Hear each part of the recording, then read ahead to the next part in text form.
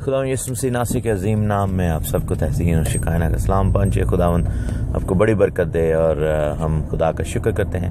اس بات کے لیے کہ جلال کا بادشاہ ہمارے درمیان میں، ہمارے دلوں میں موجود ہے۔ ہم زندہ خدا کا مقدس ہیں، خدا کا روح ہمیں بسا ہے اور ہم اس کی آمد کی تیاری کرتے ہیں۔ ایک دوسرے کو انکریج کر رہے ہیں، ایک دوسرے کے لیے دعا کر رہے ہیں تاکہ ہم یس مسیح کی آمد کے لیے تیار ہو جائیں۔ اس بادشاہی کے لیے تیار ہو جائیں جو بہت جلد آنے کو ہے اور اس کے لیے ہمیں کیا کرنے کی ضرورت ہے؟ ہمیں توبہ کرنے کی ضرورت ہے، اگر نہیں کی۔ یسو مسیح کو اپنا شخصی نجات دہندہ ماننے کی ضرورت ہے، اگر نہیں مانا۔ ہمیں بپتسمہ لینے کی ضرورت ہے، اگر نہیں لیا۔ پھر اس کے حکموں پر، اس کی شریعت پر، اس کے کلام پر عمل کرنے کی ضرورت ہے، اگر نہیں کرتے۔ تو اگر آپ مسیحی گھرانے میں پیدا ہوئے ہیں، تو آپ کو میں یقین دلاتا ہوں کہ آپ مسیحی نہیں ہیں۔ یہ بہت بڑی غلط فہمی ہے کہ ہم چونکہ ایک ایسے گھرانے میں پیدا ہوئے ہیں جو بائبل پڑھتا ہے، مسیح کو مانتا ہے، تو ہم اس وجہ سے مسیحی ہیں۔ کیونکہ اگر آپ یہ کہتے ہیں کہ میں اس وجہ سے مسیحی ہوں کہ میں مسیح گھرانے میں پیدا ہوا، تو پھر آپ یہ دعویٰ کر رہے ہیں کہ میں اپنے ماں اور باپ کے خون کی وجہ سے مسیحی ہوں۔ کیونکہ اوبیسلی آپ پیدائشی مسیح اپنے آپ کو کہہ رہے ہیں۔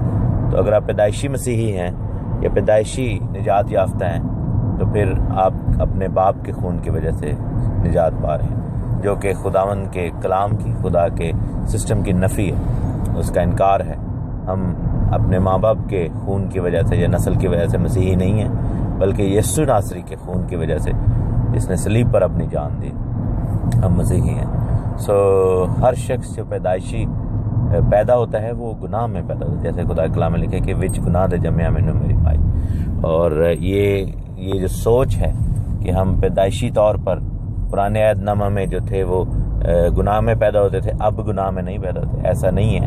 ہاں یہ ہے کہ خدا کا فضل جو ہے وہ ہوا ہے اور موروثی گناہ جس کو کہا جاتا تھا، اس کی اس کی کہہ لیں کہ خدا نے اس کو ریموو کیا۔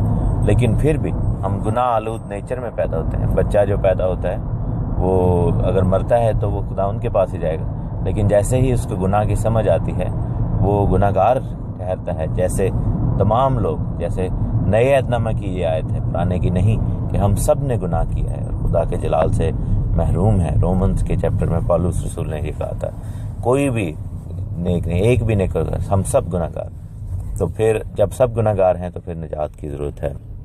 اور جب نجات پائیں گے، اس کے لیے پھر توبہ کر کے بپتسمہ لینے کی ضرورت ہے۔ بچپن والا نہیں، بچپن میں تو بچے کو معلوم ہی نہیں کہ کیا ہوا ہے۔ اور یہ جو بچپن کا بپتسمہ ہے، یہ غلط تعلیم ہے۔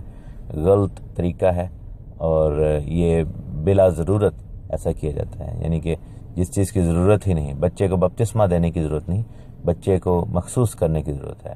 خدا ان کے ظلم میں ڈیڈیکیٹ کرنے کی ضرورت ہے خدا ان کے ظلم میں پیش کرنے کی ضرورت ہے اور اس کو خدا ان کے زور میں جو ہے وعدہ کرنے کی ضرورت ہے کہ اس کی ہم تعلیم و تربیت، خدا کے کلام، اس کے حکموں کے مطابق کریں گے۔ اس کے بعد جو ہے بپتسمہ جو ہے وہ صرف بڑوں کے لیے ہے۔ جب جب آپ بڑے ہو جاتے ہیں، جب آپ کو اپنے گناہ کا احساس ہوتا ہے، جب آپ توبہ کرتے ہیں تو بپتسمہ لیتے ہیں، پھر نجات پاتے ہیں۔ سو خدا مند خدا کے کلام اس معاملے میں بہت کلیئر ہے۔ ہم خدا کا شکر کرتے ہیں۔ خدا مند کے نام کی تعریف کرتے ہیں۔ روحانی جنگ کے اوپر بات چیت ہو رہی ہے۔ کل ہم نے دیکھا، سمجھا اور جانا کہ کس طرح دو بادشاہیاں ہیں جو کہ ایک دوسرے کے خلاف جنگ میں ہیں اور ہمیں بہت دفعہ فزیکل لیول پہ پرابلمس کا سامنا ہوتا ہے، لیکن ہمیں اندازہ نہیں ہوتا کہ اس کے پیچھے روحانی پہلو بہت بڑا ہوتا ہے۔ مثلا جب ہم بائبل میں تاؤد بادشاہ اور جاتی جولیت کی سٹوری کو پڑھتے ہیں، تو ہمیں وہ فزیکل بیٹل نظر آ رہی ہے۔ لوگ یہی کہتے ہیں کہ جی پرانے عہد میں جو جنگیں تھیں، وہ ساری فزیکل تھیں، لیکن نئے عہد میں روحانی جنگ کا کانسیپٹ ہے، بدروحوں کے خلاف جنگ کا۔ تو میرے عزیزو، جو داؤد بادشاہ جب جنگ کر رہا تھا جاتی جولیت کے ساتھ، وہ زمین پر فزیکل لیول پہ جنگ کر رہا تھا، لیکن آسمان پر جو ہے وہ روحانی لیول پہ بھی جنگ ہو رہی تھی، کیونکہ فلسطین یا فلسطینوں کے جو بادشاہ کا موکل تھا فلسطینوں کے علاقے کا موکل جو تھا، اور خدا کے فرشتوں کے درمیان آسمان میں جنگ ہوئی۔ جیسے آپ یہ دیکھیں کہ دانیل نبی زمین پر بیٹھ کر فزیکل ریلم میں دعا کر رہا تھا، لیکن آسمان پر جنگ جاری تھی، اینجل کے، اینجل گیبریل اور فارس کے مکل کے بیچ میں۔ اور پھر مائیکل جب آتا ہے، میکائل فرشتہ، تو پھر وہاں پر آ کر جبرائیل فرشتہ اس جنگ کو ویسے چھوڑ کر نیچے آتا ہے اور جواب لے کر آتا ہے۔ پھر ہم دیکھتے ہیں کہ بنی اسرائیل جب امالیکیوں کے خلاف اور اناکین کے خلاف اور یہ جباروں کے خلاف جنگ کر رہے تھے، تو تب آسمان میں بھی جنگ ہوتی تھی۔ اور آپ کو واقعہ وہ یاد ہوگا کہ جب موسا اپنے ہاتھ نیچے کرتا تھا موسا نبی، تو بنی اسرائیل جنگ ہارنا شروع ہوتے تھے۔ جیسے ہی وہ اس کے ہاتھ کو اوپر اٹھاتے تھے، تو وہ جنگ جیتے تھے۔ پھر یشوا نے اور کالب نے ان کے ہاتھوں کو اوپر کیا اور اور وہ جنگ جو تھے وہ جیتنا شروع ہوئے۔ یشوا نے اور کالب نہیں تھے، کالب تو جنگ کر رہا تھا اس وقت۔ تو بہرحال خدا کے دو لوگوں نے وہاں پر ان کے ہاتھوں کو پکڑ کر اوپر کیا اور وہ جنگ جیتنا شروع ہوئے۔ سو ہم اس چیز کے لیے خداون کا شکر کرتے ہیں کہ خداون نے تھرو آؤٹ تھرو آؤٹ ہمیں جو ہے وہ فتح بخشی ہے، کیونکہ فتح خدا کے نام میں ہے۔ ہمارے باپ دادا کو بھی بخشی، ہمیں بھی بخشی۔ اور یہی چیز اب بھی ہوتی ہے۔ جیسے داؤد بادشاہ نے اس وقت جاتی جولیت کا مقابلہ کیا۔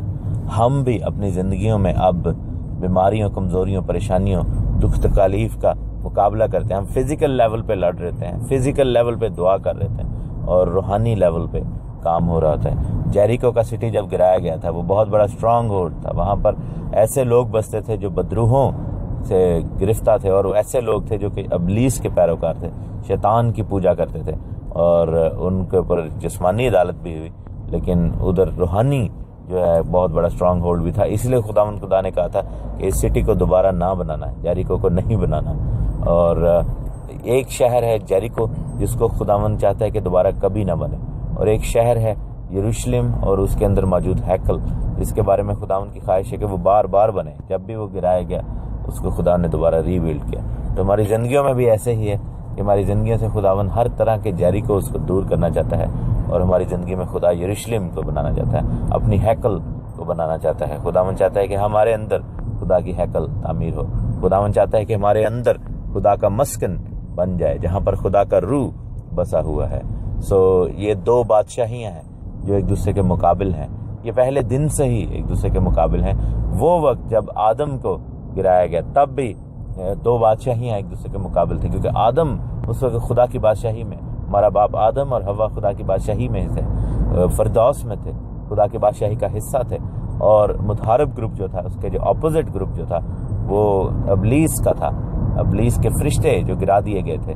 اور ہم دیکھتے ہیں کہ کس طرح یہ جنگ وہاں پر بھی ہوئی، اور روحانی جنگ تھی، اور جسمانی جنگ نہیں تھی، اور جسمانی طور پر پھل کھایا لیکن اس کا اثر جو تھا روحانی ہوا، کیونکہ بائبل میں لکھا کہ جس دن تو نے کھایا تم مرا۔ اور دو دفعہ پھر آدم ہمارے باپ کی ڈیتھ ہوتی ہے۔ ایک دفعہ روحانی طور پر، اسی دن جس دن کھایا، کیونکہ اسی دن محسوس ہوا کہ وہ ننگا تھا۔ اور پھر جسمانی طور پر بعد میں ہوتی ہے ڈیتھ۔ سو نو سو تیس سال کا ہو کر ہمارا باپ مرا۔ سو ہم نے دیکھنا ہے کہ یہ جو دو گروپس ہیں، دو بادشاہیاں ہیں جو ایک دوسرے کے خلاف جنگ کریں، وہ بسی کہاں ہوئی ہیں؟ ان کا ٹھکانہ کہاں ہے، ان کا بسیرا کہاں ہے؟ اس سے پہلے کہ ہم یہ دیکھیں، میں آپ کو آہستہ آہستہ یہ بتاؤں گا، میرے ہمارے پاس صرف ففٹین منٹس کا ٹائم ہوتا ہے اس آڈیو کا۔ تو اگر آج نہیں تو پھر کل اس کو کنٹینیو کریں گے۔ ہم اس کو کافی دنوں تک کنٹینیو کریں گے تاکہ آپ کو یہ کلیئرلی پتہ لگ جائے۔ میرے ساتھ دیکھیں سیکنڈ کرنتھینس چیپٹر ٹویلو دوسرا کرنتھیوں کا خط، اس کا بارہواں باب، اور اس کی دوسری عید لکھا ہے کہ میں مسیح میں ایک شخص کو جانتا ہوں چودہ برس ہوئے ہیں کہ وہ یکا یک تیسرے آسمان تک اٹھا لیا گیا۔ نہ مجھے معلوم ہے کہ بدن سمیت، نہ یہ معلوم ہے کہ بدن کے بغیر۔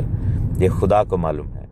میں یہ بھی جانتا ہوں کہ اس شخص نے بدن سمیت یا بدن کے بغیر یہ مجھے معلوم نہیں، خدا کو معلوم ہے یکا یک فردوس میں پہنچ کر ایسی باتیں سنی جو کہنے کی نہیں اور جن کا کہنا آدمی کو روا نہیں۔ اب یہ جو آیات ہیں، یہ بہت سارے لوگوں کو پرپلیکس کر دیتی ہیں، بہت سے لوگوں کو پریشان بھی کرتی ہیں کہ اس کا کیا مطلب ہے۔ یہاں پر دو نظریات ہیں۔ ایک نظریہ یہ ہے کہ یا تو پالوس رسول خود اپنی بات کر رہے ہیں یا پھر کسی اور کی بات کر رہے ہیں۔ موسٹ پروبیبلی وہ کسی اور کی بات کر رہے ہیں۔ لیکن جو بائبل پڑھنے والے ہیں، ان کا بہت بڑا حلقہ یہ بلیو کرتا ہے کہ یہ پالوس رسول اپنی بات کر رہے ہیں تھرڈ پرسن میں۔ لیکن یہاں پر ایمفسس یہ نہیں ہے کہ یہ کون ہے شخص۔ ایمفسس یہ ہے کہ وہ یکا یک تیسرے آسمان تک اٹھا لیا گیا۔ آسمان یہاں پر پھر ہمیں معلوم ہوتا ہے کہ تین ہے بائبل مقدس ہمیں بتاتی ہے کہ تین آسمان ہے پہلا آسمان وہ ہے جہاں پر ہم بستے ہیں، کیونکہ لکھا ہے کہ خدا نے شروع میں زمین اور آسمان کو بنایا اور آسمان کو جو ہے وہ پانیوں کو پانیوں سے جدا کیا اور آسمان فضا کو خدا نے آسمان کہا۔ سو یہ جو فضا ہے، یہ ہمارا پہلا آسمان ہے، جس میں ہم دیکھتے ہیں کہ چاند ستارے اور یہ سب کچھ جو ہے، یہ جو ویزیبل ہیون ہے، یہ پہلا آسمان ہے۔ ویزیبل ہیون جو ہے، وہ پہلا آسمان ہے۔ اور اس کے بعد ایک تھرڈ ہیون ہے، جو کہ جہاں پر خدا کا تخت ہے۔ میرے ساتھ دیکھیں ہیبروز یعنی عبرانیوں کا خط ہیبروز کا لیٹر اس کا آٹھواں باب اور اس کی پہلی ہے لکھے کہ اب جو باتیں ہم کہہ رہے ہیں، ان میں سے بڑی بات یہ ہے کہ ہمارا ایک ایسا سردار کاہن ہے، جو آسمانوں پر کبریا کے تخت کی جانب دہنی طرف جا بیٹھا اور مقدس مقدس اور اس حقیقی خیمہ کا خادم ہے جسے خدا نے کھڑا کیا نہ کہ انسان نے۔ اور پھر ہم دیکھتے ہیں کہ اصل جو چیزیں ہیں وہ اصل آسمان میں، اصل خیمہ جو ہے وہ آسمان میں ہے۔ موسا نبی کو خدا نے کہا تھا کہ جس کا نمونہ میں نے تجھے آسمان میں دکھایا۔ سو جب موسا نبی حورب کے پہاڑ پر تھے، وہاں سے ان کے سامنے وہ پورٹل کھل گیا اور میرا جو ماننا یہ ہے کہ خداون نے موسیٰ نبی کو آسمان میں سیر کرائی ہوگی، یا پھر دوسرا نظریہ یہ ہے کہ وہاں پر آسمان کا نمونہ ایک ویژن کی شکل میں، ایک کہہ لیں کہ رویا کی شکل میں ان کو دکھایا گیا، سارا کچھ آسمان کا دکھایا گیا۔ لیکن ہو نوز کہ ود باڈی یا وداؤٹ باڈی جیسے پالوس رسول نے کہا کہ موسا نبی کو بھی آسمان کا ہی نظارہ آسمان پر ہی لے جائے گا اب آج کل بھی آپ دیکھیں کہ ایسی گواہیاں ہیں، جیسے کہ وہ بک بھی ہے twenty three days in heaven کہ ہیل اس طرح۔ تو اس میں پھر ہم دیکھتے ہیں heaven is heaven is for real ایک کتاب ہے جس میں لوگوں کو یہ ایکسپیرینس ہوا، جس کو نیئر ڈیتھ یا آفٹر ڈیتھ ایکسپیرینس کہتے ہیں، کہ انہوں نے آسمان کو دیکھا، آسمان کی باتوں کو دیکھا۔ سو پہلا آسمان وہ ہے جس میں ہم رہتے ہیں۔ تیسرا آسمان وہ ہے جہاں پر خدا رہتا ہے، جس کو کبریا کا تخت بھی کہا جاتا ہے۔ ان کے بیچ میں ایک اور ہیون ہے جو کہ، اور تھرڈ ہیون بھی انویزیبل ہے to human eye to naked eye تو ہمیں نہیں معلوم، ہم نہیں دیکھ سکتے کہ وہ کہاں ہے، خدا کا تخت کہاں ہے۔ یہ تبھی معلوم ہوگا جب انسان کی وفات ہوگی، اور اگر وہ ایماندار ہوگا تو وہ آسمان پر اٹھائے، آسمان پر اس کی رو جائے گی۔ افسیوں کا خط میں دیکھیں گے فیجنس چیپٹر سکس میں جائیں گے۔ اور اس کی دسویں آیت میں دیکھیں گے۔ افسیوں چھٹا باب دسویں آیت اس پورے پیسج کو ہم بعد میں چھوٹا چھوٹا کر کے، توڑ توڑ کر کے بھی جو ہے وہ ایکسپلین کریں گے، اس کو جانیں گے۔ لیکن آج میں صرف اس کو جسٹ ٹچ کروں گا۔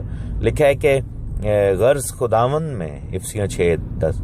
غرض خداون میں اور اس کی قدرت کے زور میں مضبوط بنو۔